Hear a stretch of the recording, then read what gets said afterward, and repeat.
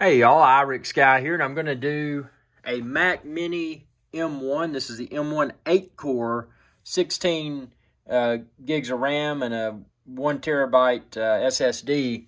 And then this right here is the Intel uh, MacBook Pro Core i9 8-core, 32 gigs of RAM and a 1 terabyte SSD. And what I'm going to do is show you the export. No, no tomfoolery or anything here. This video clip is approximately 3 minutes and 41 seconds. So I've got it ready to go in compressor here. Uh, this right here is the monitor. It's connected to my Mac Mini M1. I'm ready to hit start. I've got uh, the setting is up to 4K. So that's what I'm using here. Also over here, the setting is up to 4K. Uh, this video, if you want to watch this video, by the way, is the iPhone 12 Pro review after several weeks using. But I'm just using this as a test. I'm going to position my cursor over start batch. I'm going to position my cursor over start batch here. And you're going to see this in real time. And I'm going to go quickly. Okay. Boom. Boom. So the Intel has just a, a second or a, you know, maybe a little bit over a second edge. Because I clicked uh, I clicked the Intel Core i9 first. We're just going to look at this little status bar right here. So there it is. Looking at the status bar on the Mac Mini as well, uh, which is right there. So we're not going to pause this video. And You're probably like, man, this is boring having to watch. No, I'm going to swivel around in my chair and show you both. There's no full reaction going on here. Look at that. There it is. Wee! Which one's gonna finish first, y'all? This is real time, so if you've got a, a timing device like a like a stopwatch or a, a uh, you know anything like that, this is just you know here here's the thing. I do a lot of video editing here on IrixGuy's Adventure Channel.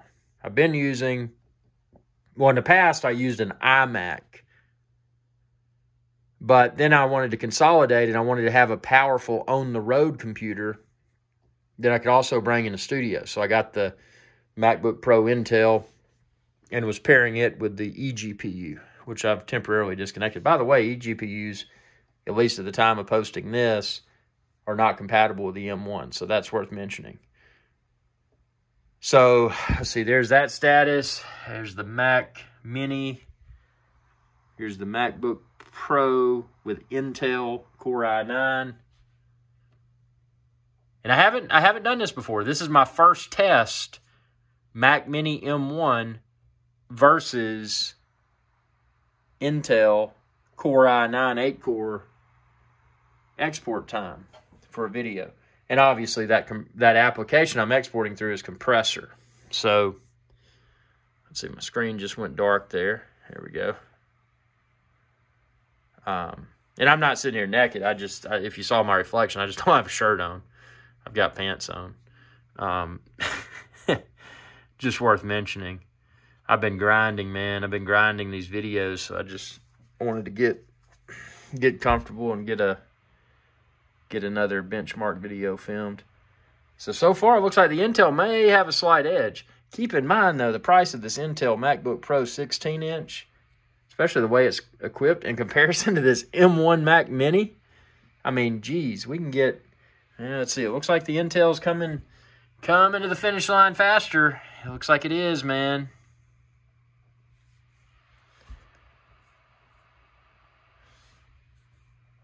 But how much faster? We're gonna see the whole thing, man. I'm not. I'm not gonna I'm not going to cheat y'all out of this experience here. So there's that. Yeah, Intel's Intel's getting there, man.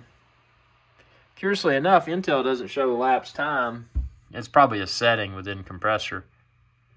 But this is showing elapsed time. That's interesting. That's not intentional. It's just how it's how it's doing.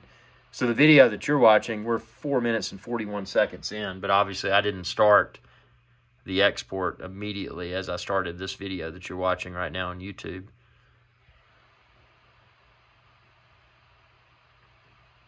Some people have timed this and they posted the, you know, this type of test. They posted the number, but I don't know. I just, I know it's goofy. I'm sitting here filming this with an iPhone 12 Pro, but you know, at least you're able to see this in real time. So I'm going to keep the eyes on this because it looks like it may finish first.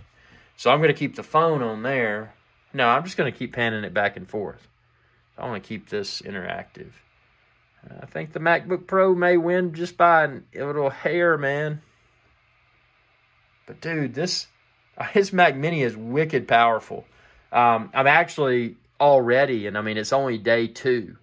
It's the 18th of, of November. I got my Mac. Oh, okay. So the Intel finished.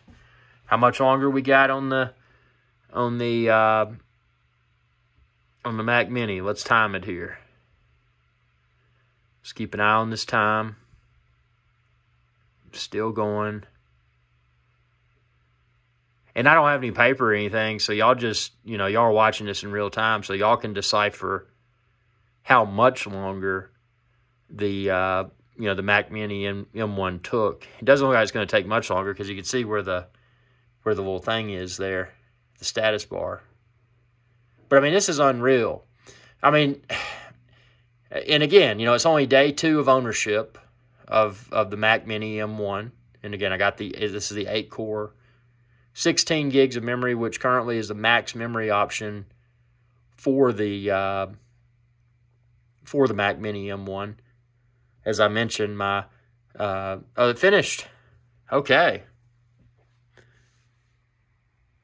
So I guess the question for y'all is, given how close, yeah, and there were there were seconds difference of of export time, but given how close that export time was, could you really justify today? And again, nothing against Intel. I've been using Intel and AMD since since I was a little kid, man. I've been building computers since I built the XT. I mean, I'm old. I got gray hair. Um, but given how quickly both of these exported, given that Apple is obviously going Apple Silicon, you know, they're going to be ditching Intel.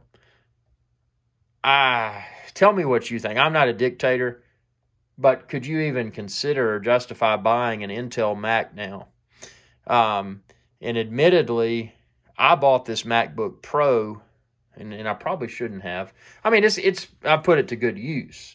You know, don't get me wrong. I've edited tons of YouTube videos with it, and and I've uploaded uh, tons of content. So I mean, it's it's you know, it's been a it's had a great return on investment ROI. But with that being said, when I bought it, my assumption, and I was incorrect. My assumption is that was that uh, Apple Silicon was going to be more of an entry level processing power. And I was grossly inaccurate because their entry level systems, the Mac Mini and the MacBook Air, which I have coming, which should be here within a few days, I hope, and we'll be doing performance testing of it. But both the Mac Mini and hopefully the MacBook Air, again, once I get my hands on my MacBook Air, I'll be able to confirm or deny this. But these are entry level systems these entry level systems and check out my other video where I do a benchmark. I do a Geekbench of this 16 inch Core i9 Intel MacBook Pro. And then I do a Geekbench of the Mac Mini M1. And actually, the M1 beats it on the Geekbench in both single core and multi core performance. But as we witnessed here, and, and again, I did click the export uh, button within compressor, you know, a, a, a, second or so faster on the on the uh, MacBook Pro than I did the uh, Mac Mini M, M1. But yeah, the at least the MacBook Pro exported that the exact same video project exported a little bit faster than the M1, but not much faster at all. And what I've noticed, and we'll address this within a separate video, when you're editing, of, and, and again, this will be a separate video, but when you're editing videos in Final Cut Pro 10 on a uh, on an M1 computer versus Intel, the video just seems so much smoother as you're editing it. And that may sound that may sound kind of weird, but I think I'm right.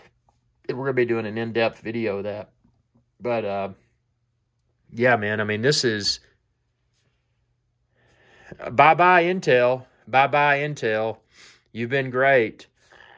You know, I mean, what else can we say? I mean, Intel is is about to be out the door, and actually, I'm gonna again, I'm gonna I'm gonna trade this for a for a MacBook Air M1 because I don't.